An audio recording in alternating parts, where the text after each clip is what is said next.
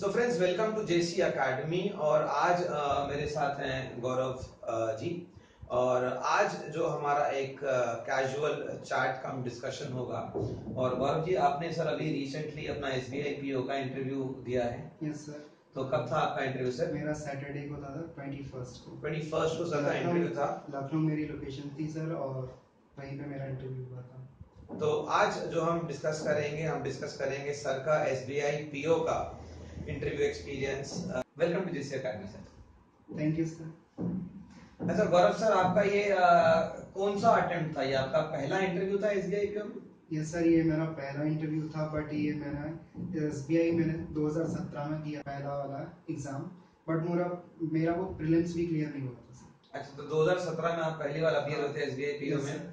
उसमें आपका केवल और केवल प्री प्री प्री भी नहीं हुआ था तो फिर 2017 से 19 तक यहाँ तक तो बहुत लंबा सफ़र आपका हो गया। हाँ सर जर्नी बैंकिंग की ऐसी ही है जैसा कि आप सभी को पता है कि जो बैंकिंग का कंपटीशन है वो भी डे बाय डे टफ होता जा रहा है। नहीं रहेंगे अगर आप सोचते हैं एक बार मैंने दिया दो बार दिया और मैं उसको रोल बैक कर लूँ तो ये पॉसिबल नहीं है कि आप बैंकर बन जाएँगे। आपका एक किसी किसी स्टूडेंट का पहली बार में निकल जाता है किसी का दूसरा किसी का पांचवा।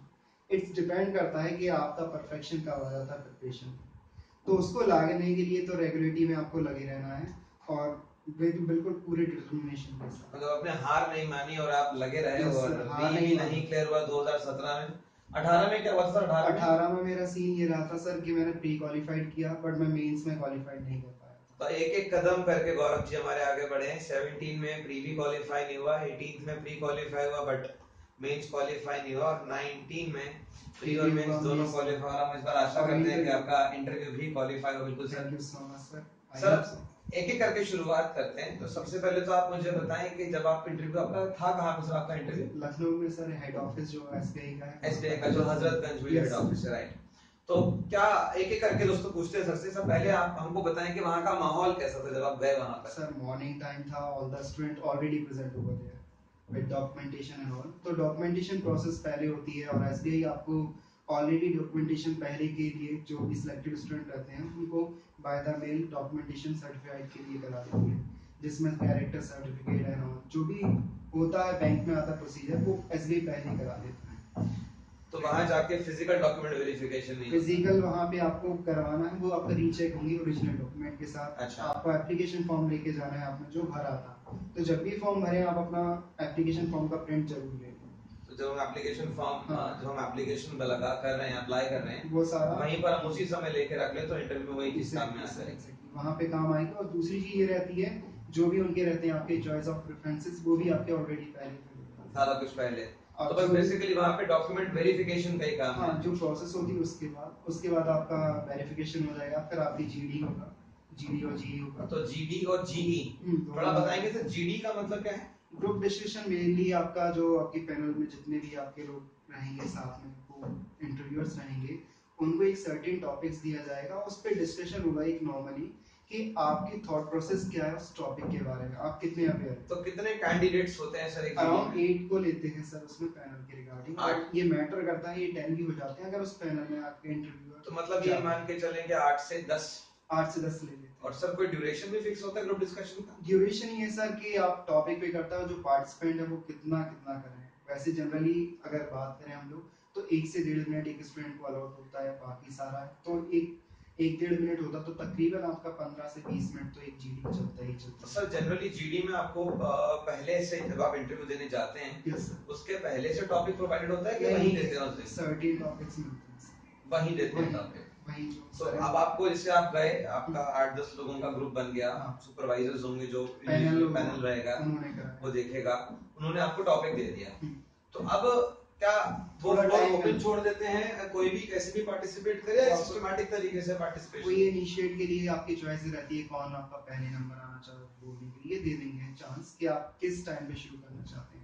और वैसे ही रहता है कि अगर आप शुरुआत करना चाहते हैं तो आपको कुछ मार्क्स का एडवांटेज तो मिलता है because you are initiated something तो उसके लिए थोड़ा बहुत प्रेफरेंस मिलता है बट ये मैटर नहीं, ये नहीं करता कि आपने पहले ही बोलना स्टार्ट किया तो आपके मार्क्स ज़्यादा आएँगे। आप क्वालिटी वाइज बोलना है because we have a limited time period और जनरली सभी स्टूडेंट को उतना ही अलॉटेड होता है।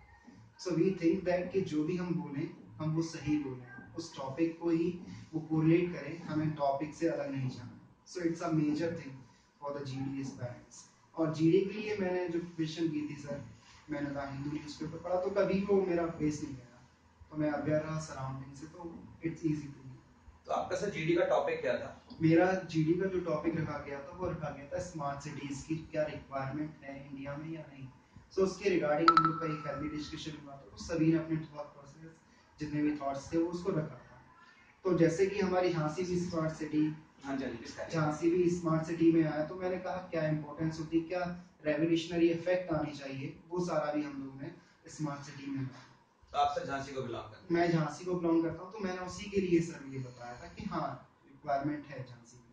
तो बेसिकली मुद्दा ये था जीडी का टॉपिक ये था कि आर स्मार्ट सिटीज़ रिक्वायर्ड और नॉट और आपको फॉर और अगेंस्ट बात करना था रिगार्डिंग बताना था आपकी क्या पॉइंट है अच्छा सर तो जब जीडी के लिए फ्लोर ओपन करा गया कि आप लोग जीडी शुरू कर दें। तो ऑटोमेटिकली लोगों ने पार्टिसिपेट किया होगा। हाँ सर। जो लोग नहीं बोल पाए ड्यूरिंग द जीडी क्या उनको भी अलग से मौका मिलता है बाद में पार्टिसिपेट करने का? पार्टिसिपेट का मौका तो सर ये रहता है कि आपके टाइम रहता है। अगर आप उस टाइम पे थॉट प्रोसेस नहीं आते तो आपकी नेगेटिविटी चली जाती है। थोड़ा आप वो तो मेरे को लगता है बट ऑब्वियस अगर आप पार्टिसिपेट ड्यूरिंग द जीडी नहीं कर रहे हो तो मार्क्स तो कहीं ना कहीं अलॉट होता है कि हाँ अगर बोलना चाहें तो आप जब सभी बोल रहे सबके चांस हो तो अपने थॉट प्रोसेस रख सकते हैं। बट जनरली आपका एट अ टाइम बोलना ही पड़ता है। तो पैनल मेंबर्स अलग से आपको नहीं अलग से वैसे अलॉट नहीं होता। शुरुआत में भी नहीं मिलता। आपको जो मिलेगा आपका रहेगा पैन भाई serial wise so it is सबको एक एक करके बोलना पड़ता है सबका एक फॉइल रहता है कि कौन कहाँ आएगा ये सारा करवा लेते हैं। तो सीक्वेंस प्री डिसाइड होता है। ये होता है और मेनली जब आपके जनरली डिसाइड डिसाइड जो आपके को मेंबर्स हैं वो भी करते हैं कि क्योंकि आपका कोलिजन ना होना चाहिए। नहीं जैसे कि मान लीजिए आठ स्टूडेंट्स बैठे हैं। तो क्या पैनल मेंबर्स पहले से बता देते हैं कि पहले आप बोलेंगे फिर आप बोलेंगे रहता है कि कौन किस नंबर पे बोलना चाहता है। मतलब पैनल मेंबर्स डिसाइड नहीं करते ना। वो हम को ही करना है। कुछ टाइम ही मिलता है कि हम लोग किस पे बोलना है तो थॉट प्रोसेस के लिए थोड़ा बहुत टाइम मिल जाता है। कितना टाइम देते हैं पहले प्रिपेयर करने के लिए? करीब आपको 5 से 10 मिनट का टाइम मिल जाएगा। तो आप पहले अपने थॉट्स पर तो आपको कोई पेन और पेपर भी मिलता है लिखने के लिए? आप उसके लिए कर सकते हैं बट यूजुअली अगर आप बोलना है तो बस बुलेट पॉइंट्स आप कर सकते हैं अच्छा गौरव सर एक बात और मेरे को बताएँ। What is the mode of language का हिंदी में बोलना अनिवार्य है या इसको a bilingual it's a bilingual so you can use both hindi and english as such कोई कंपल्शन तो नहीं है। Mainly this will be concern जो कंसर्न करेगा वो साउथ स्टेट के लिए इंग्लिश रहेगा probably but मेरा लखनऊ वहाँ पे बाइलिंगुअल वहाँ पे एसएच पैनल मेंबर्स ने भी नहीं बोला कि आपको वहाँ पे इंटरव्यू भी बाइलिंगुअल था और अब जीडी भी बाइलिंगुअल तो फैमिली मेंबर्स ये नहीं बोलते कि आपको इंग्लिश में ही पार्टिसिपेट करना है या ऐसा कोई मैंडेट नहीं है। तो दोस्तों यहाँ पे बहुत अच्छी आप लोगों के लिए इनपुट है दैट अगर आपका जीडीपीआई होता है एसबीआई में अगर आप नॉर्थ इंडिया को बिलोंग करते हैं तो आप रेस्ट श्योर रहें कि अगर आप हिंदी और इंग्लिश दोनों में कम्युनिकेट करना चाहें तो बिल्कुल पॉसिबल है। और जैसा कि सर ने हमको फीडबैक दिया कि जब अब आप जब आपका जीडी होगा तो वहाँ पर भी आप जो है बोथ दी लैंग्वेजेस को यूज़ कर सकते हैं। तो सर एक बार आपका जीडी हो गया उसके बाद जीई e आपने ग्रुप एक्सरसाइज इसको बोलते हैं ग्रुप एक्सरसाइज इसमें क्या करना है आपको बताना रहता है एक सर्टेन टॉपिक्स के रिगार्डिंग आप क्या जानते हो उसके रिगार्डिंग कि जैसे हम लोग एक एक्सरसाइज करते हैं तो we just done all the things about that नहीं तो सर ये फिर जीई e और जीडी में फिर बेसिक डिफरेंस क्या बेसिक वहाँ पे अगर आप लेते हैं तो डिस्कशन में ये रहता है कि आप एक थॉट प्रोसेस में अपने थॉट रखें बट ग्रुप एक्सरसाइज में आप उसके बारे में सर्टेन डिक्लेरेशन दे रहे हैं। अपनी साइड से और सारा प्रोसेस जो है तो आपका जीई e का क्या टॉपिक था? जीई e का मेरा टॉपिक था सर एनवायरमेंटल एक रिलेटेड इश्यूज़ जो कि भी दिल्ली में काफ़ी देखने को मिलेगा आपको एयर पोल्यूशन का। तो उसके रिगार्डिंग उन्होंने कहा था, जो टॉपिक था मेरा, कि क्या इम्पैक्ट पड़ेगा दिल्ली के तो पॉल्यूशन पे और ये। और उसके रिगार्डिंग आप, जो आपकी नेशनल टर्मिनल्स होती हैं जीडी ग्रीन हाउसेस के रिगार्डिंग तो वो दिल्ली को काफ़ी रेंज देती है कि एयर पोल्यूशन काफ़ी तो जीई में क्या आपको कुछ पॉइंट्स पे सहमति बनानी थी? सहमति आपको देना था कि उसके प्रोसेस क्या हो सकते हैं तो सब सारे ग्रुप को जुड़ाने मसली कुछ पॉइंट्स बताना था कि क्या हम लोग कर सकते हैं उसके लिए बेटरमेंट तो नटशेल में अगर बोल तो ग्रुप डिस्कशन में the focus is discussion on a certain topic और आपकी ability be talking for and against और वहाँ पे आपके कम्युनिकेशन स्किल्स को ज़्यादा इवैल्यूएट करा जाएगा। और जीई में आपकी नॉलेज को जीई में आपके नॉलेज और मेरे ख्याल से लीडरशिप स्किल्स को भी जज करेंगे। क्योंकि वहाँ पे आपको सारे एज अ ग्रुप पूरा का पूरा कलेक्टिवली कंसेंसस लेके आना होता है और किसी भी एक टॉपिक पे डिसाइड करना होता है कि हमें क्या करना है इस चीज़ में। तो आपका दिल्ली के राइजिंग एयर पोल्यूशन को लेके आया। काफ़ी तो सर जी कितना टाइम का होता है सर ये बेसिकली सर इसमें टाइम थोड़ा ज़्यादा लग जाता है बिकॉज़ एवरी ये डिपेंड करता है कैंडिडेट्स पे कि उसकी थॉट प्रोसेस क्या है।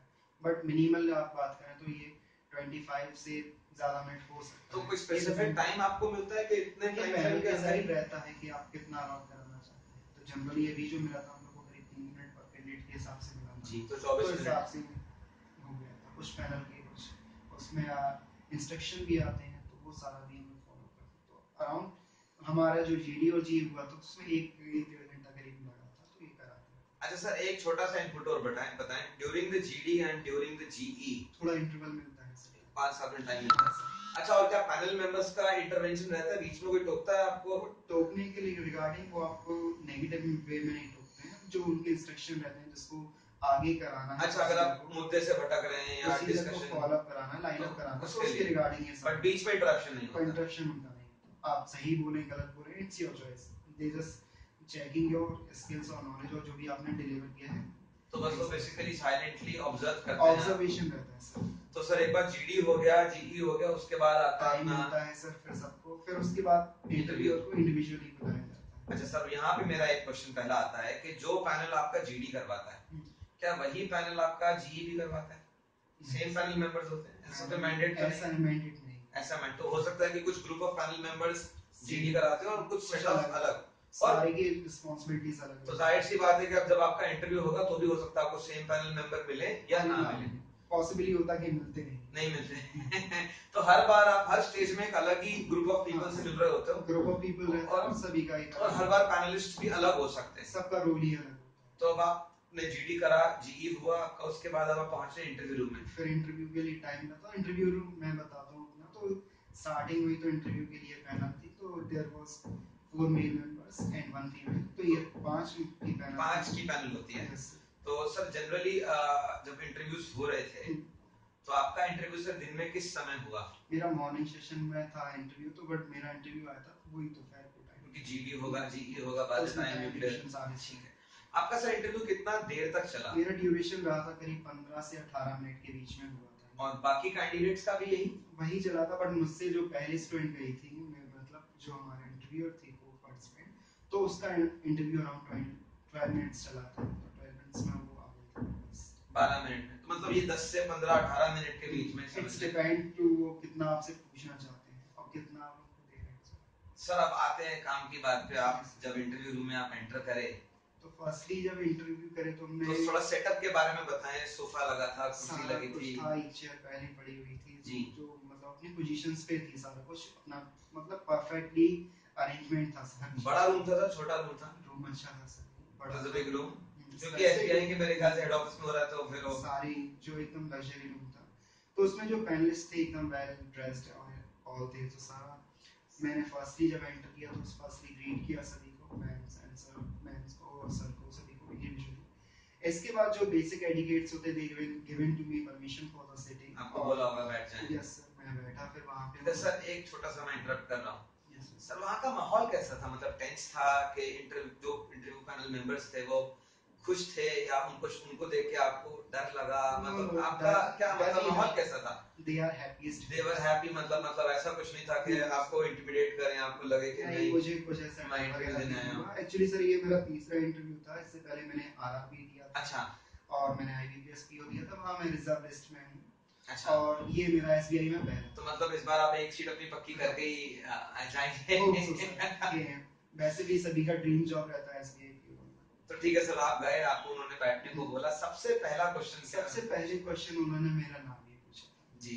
तो मैंने नाम बता दिया। फिर उसके बाद उन्होंने कहा जो जीडी और जीई में हमारे टॉपिक्स डिस्कस किए गए थे उनके रिगार्डिंग उन्होंने पूछा था कि हम्म। आपके टॉपिक थे।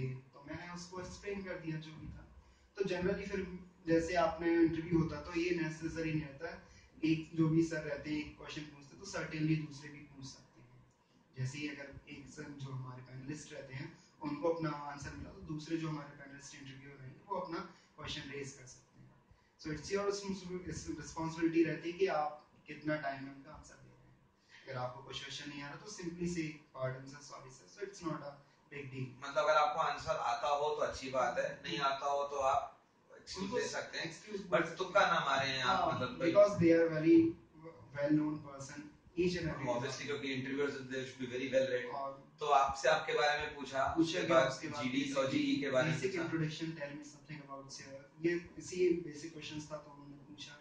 थोड़ा सिटी के बारे में पूछा। तो झांसी के बारे में मैंने बता दिया था जी। हमारा था। उसके बाद उन्होंने पूछा कि जैसे कि मेरा बैकग्राउंड इंजीनियरिंग का था अच्छा। तो उन्होंने कहा कि आप कॉमन क्वेश्चन होता है बैंकर्स के लिए कि आप टेक्निकल लाइन छोड़ के अपनी इंजीनियरिंग लाइन छोड़ के बैंकिंग क्यों आना चाहते आपका मेरे ख्याल से कंप्यूटर साइंस बैकग्राउंड है हाँ कंप्यूटर साइंस से था तो they asking me questions about the importance कि क्या है बैंकिंग में? तो मैंने उनको बताया कि आजकल हम लोग मूव फॉरवर्ड कर रहे हैं टुवर्ड्स जा रहे हैं डिजिटल बैंकिंग के लिए।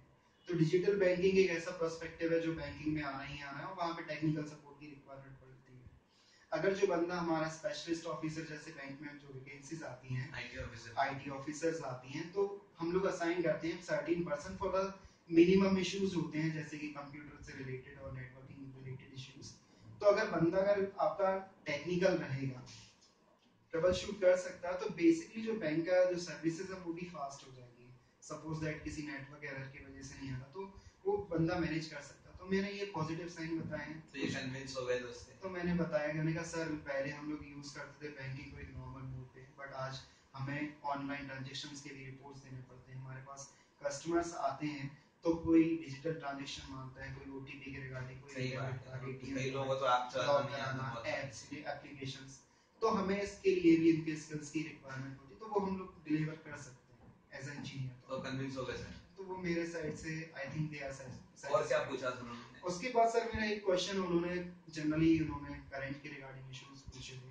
अभी जो एक हमारा एनवायरमेंटल इशू जो हुआ था अमेजोन फॉरेस्ट में जो आग लगी तो हर साल लगते लेकिन इस तो बार शायद ज़्यादा। थोड़ा ज़्यादा किया गया था। तो मैंने बताया कोई वहाँ पे जो ब्राज़ील की उन्होंने कैपिटल भी पूछी तो ब्राज़ील आंसर दे दिया था। उसके रिगार्डिंग उन्होंने कहा ब्राज़ील में काफ़ी ज़्यादा इंटरेस्टेड जो स्पोर्टी इवेंट होते हैं तो मैंने कहा फुटबॉल वहाँ पे काफ़ी पॉपुलर है तो उन्होंने कहा, कोई प्लेयर का नाम बता जो फेवरेट हो। तो मेरा अर्लियर टू थाउज़ेंड के टाइम पे खेलते थे रोनाल्डो। तो वो मैंने बता दिया। उसके बाद उन्होंने मूव ऑन किया था उस टॉपिक से और उन्होंने जो हमारा मॉनिटरी सिस्टम का रेगुलेटर है आरबीआई उसके रिगार्डिंग उन्होंने पूछा कि आप न्यूज़पेपर पढ़ते हैं। तो अभी आपने न्यूज़ पढ़ी होगी लास्ट ऑफ़ मंथ्स या अभी जो प्रीवियस डेज़ में कि, जो गवर्नमेंट ऑफ़ इंडिया को पैसा दे रहा है आरबीआई क्यों दे रहा है? इससे आरबीआई का घाटा नहीं होगा क्या? तो मैंने उनको आंसर दिया बिकॉज़ सारी अवेयरनेस तो मैंने आंसर दिया था कि जो 1.6 लाख करोड़ रुपीस आरबीआई दे रहा है वो सरप्लस फंड है। Surplus fund means to say कि आरबीआई जो अथॉरिटी है हमारे यहाँ की हेड ऑफ़ अथॉरिटी मॉनेटरी वो कहीं ना कहीं गवर्नमेंट ऑफ़ इंडिया के बिहाफ पे चलती है, क्योंकि तो जो पैसा है वो कहीं ना कहीं गवर्नमेंट की उसकी हिस्सेदारी है। तो वो जो, जैसे कि हमें पता है कि हमारे इकोनॉमिक फॉल डाउन है स्लो डाउन आया पूरी वर्ल्ड की इकोनॉमी उसी को दूर करने के लिए और एम्प्लॉयमेंट को बढ़ाने के लिए अभी टैक्सेस में भी काफ़ी रिलीफ दिया है। तो उसके रिगार्डिंग एक और क्वेश्चन उन्होंने पूछा था कि जो दिया गया है कॉर्पोरेट टैक्स में उससे क्या इंप्लीमेंटेशन होगी इकोनॉमी में? तो बैंकिंग में आपसे इकोनॉमिक्स के रिगार्डिंग भी पूछ सकते हैं जो भी सराउंडिंग तो न्यूज़पेपर इज़ द बेस्ट मतलब करंट फाइनेंशियल सिनेरियो करंट क्या हो रहा है वो सारा वो ज़्यादा में क्या हो रहा है कोई एनवायरमेंटल इश्यूज़ है कोई भी हमारे बायोलेटरल इश्यूज़ है तो 370 के रिगार्डिंग भी क्वेश्चंस पूछे गए थे। मतलब शुरुआत सर आपका इंट्रोडक्शन से हुई आपके सराउंडिंग्स कहाँ 370 के बारे में मेरे से पहले जो जो गई थी मेरे वो हम्म, फ्रेंड्स हम्म। तो उससे 370 के रिगार्डिंग अच्छा। So it seems to be a current topic to anyone मतलब हम basically their motive is to check the general awareness of the candidate how well he और she is aware of the surroundings and the happenings around their exactly sir ये पूछा था उसके बाद मेरा जो स्टार्ट हुआ तो उन्होंने कंप्यूटर बैंकिंग ऑलरेडी पूछे तो फिर मेन उन्होंने कोर बैंकिंग पूछना स्टार्ट बैंकिंग में भी आए? हाँ कोर बैंकिंग के रिगार्डिंग उन्होंने तो सर ऐसा क्या उनको कोई ट्रिगर आपने दिया था कि मेरा आप, उन्होंने आपसे पूछा था कि आपका एरिया ऑफ़ इंटरेस्ट क्या है? तो आपने बैंकिंग बोला फिर उन्होंने पूछा या कुछ ही पूछा? पूछा था इंजीनियरिंग से आप क्यों? क्योंकि मैंने कहा मेरा बैंकिंग इंटरेस्ट है मैं उसको फील हाँ, करता मुझे लगता है आपने को प्रॉम्प्ट करा कि भाई मेरा बैंकिंग में इंटरेस्ट है। क्योंकि मेरा भी पर्सनल एक्सपीरियंस यही रहा है कि जब भी इंटरव्यूअर्स पूछते हैं कैंडिडेट से तो the purpose is they need to understand कि आपका एरिया ऑफ़ इंटरेस्ट क्या है। और उसी पर बेस्ड मेरे ख्याल से क्योंकि जितने भी मेरे पुराने स्टूडेंट्स हैं सबका ये फीडबैक है कि सर जो हमने उनको बताया कि हमको इन एरियाज़ में इंटरेस्ट है वहीं से दे स्टार्ट आस्किंग तो आपने बोला होगा आपका एरिया ऑफ़ इंटरेस्ट बैंकिंग है तो बैंकिंग इसीलिए बैंकिंग पे आ गया मैंने अपना करियर को टुवर्ड शिफ्ट कर लिया बैंकिंग के लिए। फिर आप बैंकिंग से रिलेटेड क्या क्या पूछा था? सो बैंकिंग से रिलेटेड उन्होंने तो पहले तो आरबीआई पूछ लिया था तो आरबीआई मैंने फ़ंक्शंस बता दिए थे एग्जैक्ट कि जो हमारा है हेड ऑफ़ अथॉरिटी है मॉनेटरी सिस्टम की रेगुलेट करता है सारा करेंसी सिस्टम इशू करता है करेंसी फॉरेक्स तो मैंने कहा करेंसी को इशू करना और बंद करना। तो बंद करने को जैसे ही कहा तो the panelist asking me question about the demonetization nice तो मतलब क्वेश्चन से क्वेश्चन या जो भी आप बोलेंगे आप वहीं पे उनको कीवर्ड्स मिल जाएँगे तो वहीं से वहीं से क्वेश्चन आपसे रेज कर तो यहाँ पे दोस्तों आपके लिए बहुत इंपॉर्टेंट टिप है। तो whatever answers you give to the panel members be very careful कि आप उनको कोई भी ऐसा चीज़ या ऐसा क्लू ना दें जिसके बारे में आप आगे डिस्कशन ना करें। तो अपने डिस्कशन को उसी डायरेक्शन में ले जाएँ जहाँ पे आप कंफर्टेबल रहेंगे बाद में। वहाँ पे आपको वेल नॉलेज हो मतलब ऐसी बात तो नहीं तो आप आपको खुद तो उन्होंने पूछा था डिमोनेटाइजेशन से रिगार्डिंग तो मैंने बता दिया था ये हमारा 8 नवंबर 2016 को किया गया था रात को 8 बजे। काफ़ी फ़ेमस हुआ था ये। तो इसके रिगार्डिंग डिमोनेटाइजेशन किया गया था। तो उन्होंने पूछा ये क्या पहली बार हुआ? तो I just simply giving the answer because I know about it कि हमारा जो डिमोनेटाइजेशन था ये थर्ड टाइम से तो ये उन्होंने कहा कि कितने मैक्सिमम नोट्स रहते हैं हमारे जो डिमोटाइजेशन किया था। तो हमारी जो करेंसी है उसके अकॉर्डिंग हम लोग ten thousand rupees maximum note print कर सकता है तो उसी का डिमोटाइजेशन रुपीज़ के डिनोमिनेशन डिनोमिनेशन का कर बड़े से बड़ा जो नोट छाप दस हज़ार। दस हज़ार रुपए तक का छाप तो वैसे ही जो बंद किया गया था अर्लियर टाइम ऑफ़ तभी बड़ा ही नोट बंद करा गया तो उन्होंने कहा, क्या इससे हेल्प मिलती है? क्या डिमोटाइजेशन करेंसी में काफ़ी लोग परेशान हुए थे? नई करेंसी की शॉर्टेज भी हुई थी। तो मैंने कहा इट्स अ पार्ट ऑफ़ जो हमारी जो इकोनॉमी सिस्टम है, उसमें कहीं ना कहीं कुछ सोच के ही आगे गवर्नमेंट ऑफ़ इंडिया डिसीज़न लेती है। जैसे कि हमारे यहाँ पे फेक करेंसी को रोकना है जमाखोरी यानी ब्लैक मनी मनी लॉन्ड्रिंग इनको स्टॉप करने के लिए गवर्नमेंट ये स्टेप्स लेती है। तो उन्होंने कहा था भी, जो जैसे कि गवर्नमेंट की रिगार्डिंग अभी उन्होंने कहा बजट भी आपने तो बजट अभी पब्लिश किसने किया। तो जनरल क्वेश्चन तो पाँच जुलाई को निर्मला सीतारमन जो हमारी फाइनेंस मिनिस्टर है उन्होंने पब्लिश किया था बजट उन्होंने कहा था what is the basic difference between union budget और interim budget because this financial year दोनों टाइप के बजट हमको देखने को मिले। तो वही उन्होंने मतलब जो बात पहले हुई थी वो अभी पूछ ली तो आपको अवेयर रहना हर एक चीज़। मतलब जो सरकार अपना पूरा फाइनेंशियल ईयर सर्व नहीं करेगी तो इंटरिम बजट ला सकती है। जब अगर दोबारा in the case of election तो इलेक्शन वगैरह और दोबारा से जब अपना इलेक्ट हो गया सरकार तो, तो उन्होंने ये क्वेश्चन एक और कहा था कि बजट हमारे यहाँ तो किस टाइप का था? तो बेसिकली हम लोग डेफिशिएंट बजट को लाते हैं अपने यहाँ पे। तो ये सारा डेफिशिएंट बजट मतलब हमारा इनकम इनसे ज़्यादा हम एक्सपेंडिचर करेंगे। इनकम हमारी लेस रहेगी बट एक्सपेंडिचर तो यहाँ पे मैं भी आपको इनपुट दे दूँ being an ex banker budget basically दो तरीके के हो सकते हैं। एक सरप्लस एक डेफिसिट और एक बैलेंस बजट भी हो सकता है। इसको हम लोग इन द केस लेते हैं। वो बहुत स्पेसिफिक होता है बट जनरली जितनी भी ग्रोइंग इकोनॉमीज होती हैं जितने भी ग्रोइंग कंट्रीज़ होते हैं वो जनरली डेफिसिट बजट ही लेके आते हैं। जब जहाँ पर उनका जो प्रोविजंस और expenditures are slightly more than what they will be earning in the entire year long ताकि उसी वजह से जब हम ग्रोथ का अपना पैटर्न को पकड़ सकते डेफिसिट फ़िज़िकल डेफिसिट तो कम करने की बात हुई होगी। यस सर उस बारे में भी क्वेश्चन आया था क्या? फ़िज़िकल डेफिसिट उन्होंने पूछा था तो इसको कम क्यों किया जाता है? हाँ। उन्होंने रेट नहीं पूछी थी मुझसे because this kind of thing asking in the examination of mains अच्छा। तो मेंस में पूछ लेते हैं दे जस्ट क्योंकि उनको डिजिट पता है आपको याद होंगे। तो दे बेसिकली नो दैट कि इसको करना क्या कम क्यों कर रहे हैं? इंटेंशन क्या रहता है क्यों करना चाहते तो फ़िज़िकल डेफिसिट जितना ऑब्वियसली जितना पे डेब्ट कम होगा उतनी हमारी ग्रोथ ज़्यादा होगी उतना हम फाइनेंशियली स्ट्रांग होंगे कैपेबल होंगे और हमारी इकोनॉमी बूस्ट अप करेगी। So this thing can be asked in an interview so we know every aspect of budget और सर और कुछ और क्वेश्चंस पूछे गए थे? क्वेश्चन सर एक तो मेरा एक तरह से लगा रैपिड फायर हुआ था आई जस्ट गिविंग आंसर और और आप आंसर दे पा रहे थे? क्योंकि आपका जनरल अवेयरनेस भी फोटे रहा है। यस आप आंसर दे पा रहे थे तो उनको भी शायद मज़ा आ रहा है इंटरेस्ट अबाउट नो दैट चलो कोई तो आ रहा है जो आंसर दे, दे रहा है। कोई क्वेश्चन ऐसा जिसका आप आंसर ना दे पाए सर एक क्वेश्चन आया था, मेरा सर जो पूछा गया था कि सीडीएसआर के रिगार्डिंग कुछ पूछा गया था banking I don't know about the exact questions but वो क्वेश्चन मुझे नहीं आया तो सिंपली जस्ट मैं चार पाँच सेकंड लिए सोचने के लिए, और comfortably I said pardon sir I don't know sir और कुछ क्वेश्चंस पूछे थे जो बताना आगे बढ़ाया था क्वेश्चंस तो उन्होंने पूछा उन्होंने एनपीए पूछा सिक्योर लोन अनसिक्योर लोन अच्छा। So I explain all the things because जो क्वेश्चन आपसे पूछेंगे वो आपसे चेन क्वेश्चन रहेंगे। अगर जो आप आंसर दोगे उसी से तो फिर आपका इंटरव्यू लास्ट में कैसा खत्म हुआ? लास्ट में मेरा जो खत्म हुआ उन्होंने मेरा एक क्वेश्चन बैंकिंग ही से था कि जो हमारा बेसल थर्ड इम्प्लीमेंटेशन होगा उसके रिस्पेक्ट में था तो कब से आना है? तो I know about the date तो वो थर्टी फ़र्स्ट मार्च 2020 एक्सटेंड किया गया है। दो बार एक्सटेंड करा एक्सटेंड कर चुके हैं। एक बार एक्सटेंड हुआ दो बार एक्सटेंड हुआ? एक बार किया जो 31st आना था 2019 में उसमें एक बार एनपीए जो था हमारा नेट एनपीए और सीआर बैंकों के पास नहीं था। तो उसके रिगार्डिंग ये सारा एसबीआई के रिगार्डिंग सर्विसेज़ को उन्होंने कहा था एक्सप्लेन कीजिए कि आप कितना जानते हैं एसबीआई के बारे में। उस प्लेटफॉर्म को जहाँ पे आप जॉब करना चाहते हैं। तो मैंने उसकी सर्विसेज़ बता दी थी योनो वगैरह ऐप के रिगार्डिंग बात हुई थी तो वो बता दी थी। कोई से सिचुएशन बेस्ड क्वेश्चन भी पूछे कि अगर ऐसा हो जाए तो आप सिचुएशन बेस्ड में मुझसे पूछा था अगर आप प्रोविजनरी ऑफिसर हैं और आप लोन असाइन करना चाहते हैं किसी बंदे को और पर्सनल लोन है तो आप उसको कैसे असाइन करेंगे? पर्सनल लोन के रिगार्डिंग ये जो हमारे बैंक के जो कस्टमर रहेंगे जो हमारे पब्लिक पहले तो हमें उसको जानना है कि उसकी रिक्वायरमेंट क्या है किस के लिए मतलब केवाईसी भी करेंगे और उसके बाद असेसमेंट भी करेंगे प्रोफ़ाइल का वैल्यूएशन क्या है कि एलिजिबल हैं भी कि नहीं? अगर वो हमारा सारा सेटिस्फाइड करते तो हम उसको और सर क्या पूछा गया था आपसे? और और जो पूछा गया था सर ऐसे के जो हमारी करेंसी के रिगार्डिंग बहुत से इश्यूज़ पूछे गए थे तो मनी सप्लाई है और तो ये क्वेश्चन चलते रहे थे हमारे।